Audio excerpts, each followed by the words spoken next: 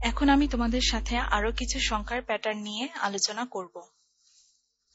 প্যাটার্নটি হলো four nine two three five seven eight one এবং কোয়েশ্চেন মার্ক এই ভিডিওটি পজ করে তোমরা প্যাটার্নটি সলভ করার চেষ্টা করো। এখানে আমাদের কোয়েশ্চেন মার্ক সংখ্যাটি ফাইন্ড আউট করতে হবে। তাহলে আমরা যদি আমাদের এই প্রথম রোটি নিয়ে কাজ করি মানে four plus nine plus two করি, তাহলে আমরা পাচ্ছি পনেরো। এবং আমাদের এই দ্বিতীয় রোটি যদি আমরা যোগ করি, তাহলে পাচ্ছি আমরা পনেরো। এভাবে আমাদের থার্ড রোটি যোগ করলেও আমরা পাবো হচ্ছে পনেরো।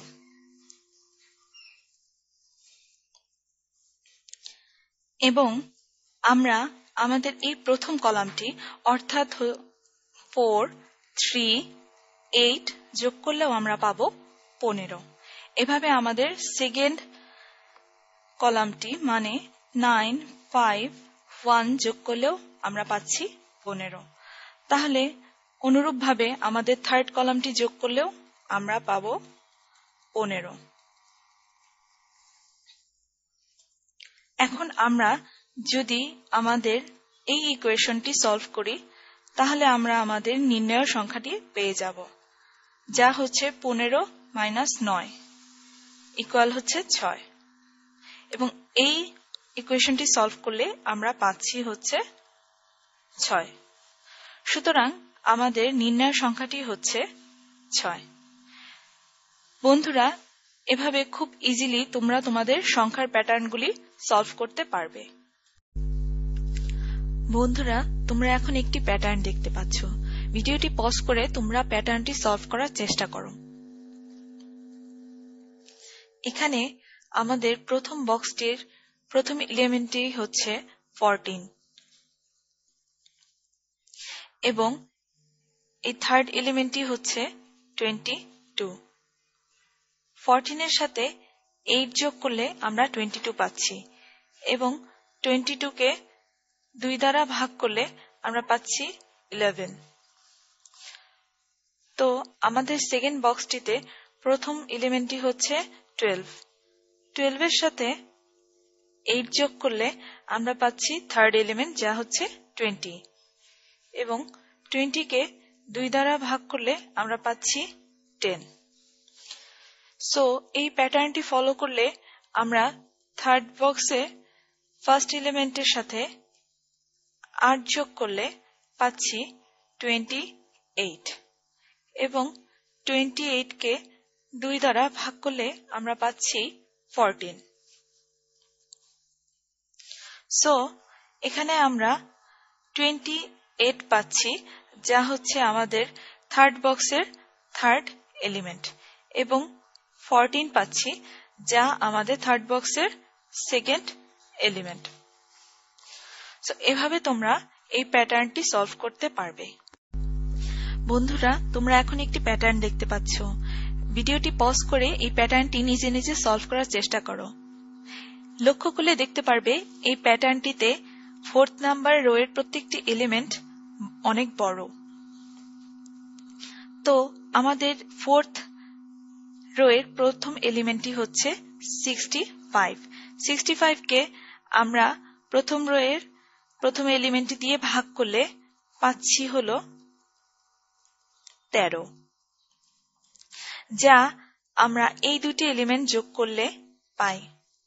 তো একইভাবে আমরা এই ফোর্থ রোয়ের দ্বিতীয় এলিমেন্ট টোয়েন্টিকে প্রথম এলিমেন্ট ফোর দিয়ে ভাগ করলে পাচ্ছি হল পাঁচ, যা আমরা এই দুটি এলিমেন্ট যোগ করলে পাই। তো একইভাবে আমরা যদি ফর্টি ফাইভকে নাইন দ্বারা ভাগ করি, তাহলে পাচ্ছি পাঁচ, যা আমরা অবশ্যই এই দুটি এলিমেন্ট যোগ করে পাব।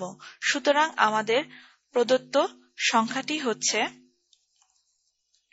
question mark plus four equal five সুতরাং আমাদের প্রদত্ত সংখ্যাটি হচ্ছে ওয়ান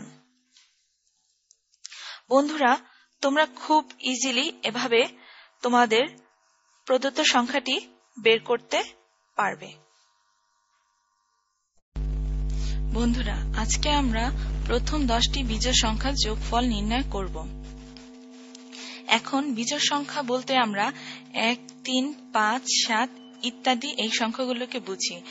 তার মানে আমরা বলতে পারি বিজোড় সংখ্যা হল টু এন প্লাস ওয়ান আকারের যতগুলো সংখ্যা আছে সেগুলো, যেখানে এন এর মান শূন্য থেকে অসংখ্য সংখ্যা। এখন এক থেকে উনিশ পর্যন্ত বিজোড় সংখ্যাগুলো লক্ষ্য করলে দেখা যায় এক আর উনিশ যোগ করলে আমরা পাচ্ছি বিশ। এবং একইভাবে তিন এবং সতেরো যোগ করলে আমরা পাচ্ছি বিশ। এবং এরপরে আবার যদি আমরা পনেরো সাথে পাঁচ যোগ করি, তাহলেও আমরা পাচ্ছি বিশ। তো এখানে দেখা যাচ্ছে যে এক, তিন, পাঁচ, সাত, এরকম করে আমরা যদি উনিশ পর্যন্ত বিজোড় সংখ্যাগুলো লিখি এবং ঠিক উল্টোভাবে এখানে উনিশ, সতেরো, পনেরো এবং সাতের নিচে হবে কত? তেরো। এই সংখ্যাগুলো লিখি উল্টোভাবে, তাহলে আমরা দেখতে পাচ্ছি যে যোগফল আমাদের বিশ বিশ বিশ বিশ এবং বিশ পাচ্ছি। তো এখানে লক্ষ্য করলে দেখা যায় যে আমরা পাঁচ জোড়া সংখ্যা পাব। যে পাঁচ জোড়া সংখ্যায় প্রত্যেকটি জোড়ার যোগফল হবে বিশ। সুতরাং এখন আমরা এই পাঁচ জোড়া সংখ্যার সাথে বিশকে গুণ করলে আমাদের প্রদত্ত যোগফল পেয়ে যাব, যা হচ্ছে একশো। এখন আমরা অন্যভাবে লক্ষ্য করলে দেখতে পাচ্ছি এক আর তিন মানে প্রথম দুটি বিজোড় সংখ্যা যোগ করলে আমরা পাচ্ছি চার। এবং এক, যা একটি পূর্ণবর্গ সংখ্যা। এবং একইভাবে প্রথম তিনটি বিজোড় সংখ্যা এক যোগ তিন যোগ পাঁচ করলে আমরা পাচ্ছি নয়। যা একটি পূর্ণবর্গ সংখ্যা। এবং অনুরূপভাবে আমরা এক, তিন, পাঁচ, সাত যোগ করলেও পাব ষোলো, যা একটি পূর্ণবর্গ সংখ্যা। তো আমরা নিচে চিত্রটি লক্ষ্য করলে দেখতে পাব যে এক বর্গের একটি সংখ্যার সাথে তিন বর্গের সংখ্যা যোগ করলে আমরা এরকম একটি বর্গাকার বক্স পাচ্ছি। তো এই চারের সাথে পাঁচ এইভাবে বর্গাকারে যোগ করলেও আমরা এভাবে নয় পাচ্ছি। তো একইভাবে আবার সাত, যদি নয়ের সাথে যোগ করি, তাহলে আমরা ষোলো পাচ্ছি। তো আমরা খুব ইজিলি দেখতে পাচ্ছি যে আমাদের বিজোড় সংখ্যাগুলো যোগ করলে আমরা একটি পূর্ণবর্গ সংখ্যা পাচ্ছি। এখন বন্ধুরা, আমরা যা দেখতে যাব তা হল সংখ্যা কে দুটি বর্গের সমষ্টি রূপে প্রকাশ।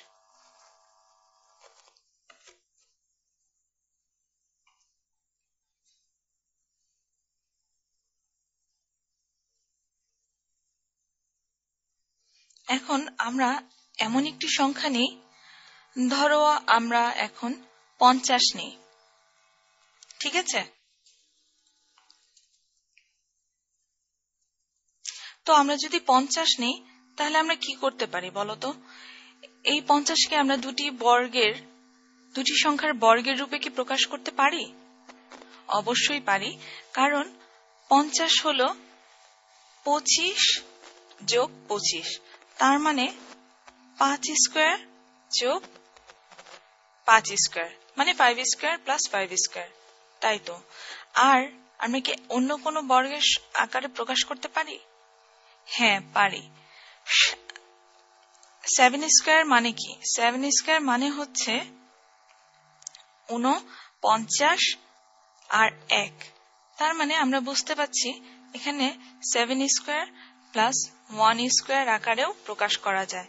তো বন্ধুরা, তোমরা একটু লক্ষ্য করলে দেখবে এখানে আমরা দুইটা ওয়েতে প্রকাশ করেছি। ঠিক এভাবেই তোমরা একটি সংখ্যাকে বিভিন্ন বর্গের রূপে প্রকাশ করতে পারবে। এখন আমরা আরেকটি সংখ্যা নিয়ে কাজ করি, তাহলে আমরা আরেকটু ভালো করে বুঝতে পারব। এখন তোমাদের বইয়ে একটি কাজ আছে, একশো তিরিশকে দুটি বর্গের সমষ্টির সমান রূপে প্রকাশ করো। তো একশো তিরিশকে কি আমরা একশো একুশ যোগ নয় লিখতে পারি? কি বলো তোমরা? হ্যাঁ লিখতে পারি। তাহলে একশো একুশ হচ্ছে এগারোর বর্গ আর নয় হচ্ছে তিনের বর্গ। তাহলে আমরা দুটি বর্গের সমষ্টি রূপে একশো তিরিশকে প্রকাশ করতে পারছি। এখন আমরা কি অন্য কোন রূপে প্রকাশ করতে পারি? হ্যাঁ একটু লক্ষ্য করলে তোমরা দেখতে পারবে, আমরা এই সংখ্যাটিকে